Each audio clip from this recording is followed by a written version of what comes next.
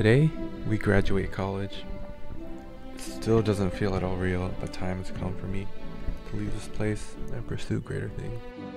It really was only the other day I was this lost and nervous freshman, trying to talk to people and trying to make friends. It's a very strange feeling knowing that my college days are over. And uh, what else can I do close the best four years of my life than they're making a recap video?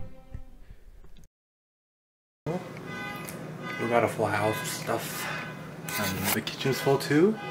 Coming into college, I had this mindset of growth. Through meeting many different people from all walks of life, that a person can truly grow. Being so far away from home kind of helps. You lose that safety net. So I set out to capture as many experiences and as many stories as I can. I wanted to be 65 and say, Oh, back in my college days, those were the golden years.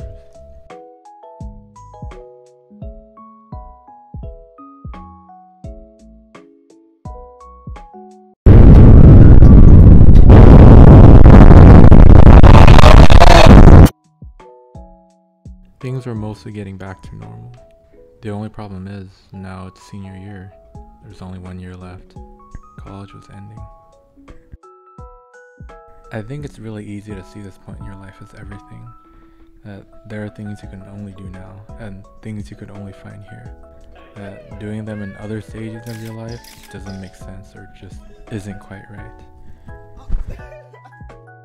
Where else in the world are you going to be surrounded by people just like you and going through the same stuff as you are? A space to collaborate, socialize, and do dumb stuff.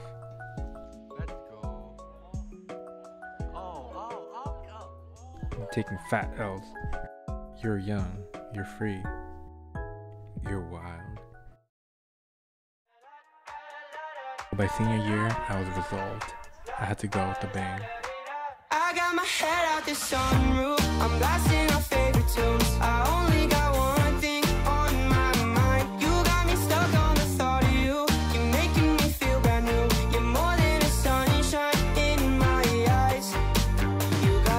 So, I entered senior year with a bucket list of things to do and a whole bunch of things to experience. It was now possible to see people in person in the classroom again. Oh.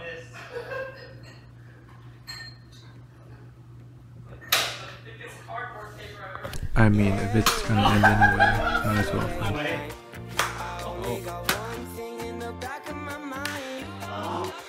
So that was not the case. Senior year was one of the most academically taxing years of my whole four-year career. Sprinkled on with a bucket full of senioritis and this looming feeling of the end. I got my head out the sunroof. I'm blasting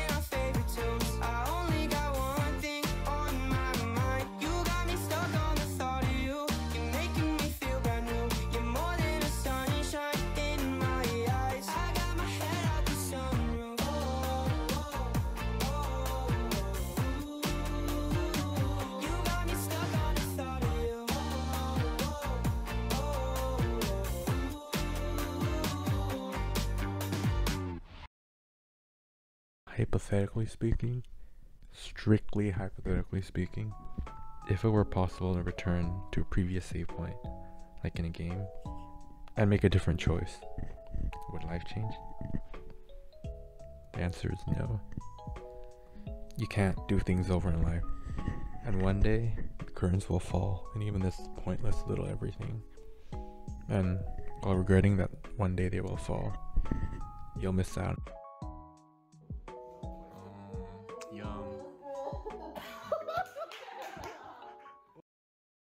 And just as quickly, June rolled around. And among the highs of graduation, there were also the lows of the eventual goodbyes.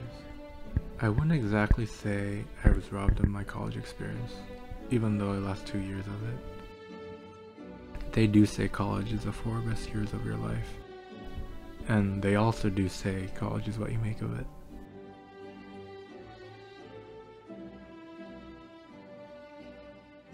College isn't everything. And you don't really have to do everything now. There's really no rush. Ever.